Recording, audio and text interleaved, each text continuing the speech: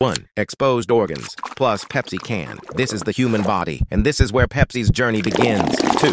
Pepsi entering the stomach. As soon as Pepsi enters the stomach, its strong fizz hits the inner lining instantly. 3. Intestines absorb nutrients. In the small intestine, tiny villi pull out usable particles and send them into the bloodstream, or energy spread in body. These particles travel fast, giving the body a short burst of quick energy. 5. Brain boost. In the brain, neurons fire faster, creating a moment of alertness. 6. Muscles nourished. Muscles receive quick fuel, helping the body feel active for a short time. 7. Gut Microbiome. The gut reacts immediately, activating certain bacteria inside the intestines. 8. Energy boost silhouette. For a few seconds, the whole body feels a sudden energy wave. 9. Stomach irritation. But Pepsi's acidity can irritate the stomach lining, causing redness inside. 10. Allergy reaction. Some people may face mild allergic reactions or skin inflammation. 11. Blood sugar spike. Sugar levels rise quickly, creating a fast spike inside the bloodstream. 12. Fatigue, low energy. And as the effect wears off, the body drops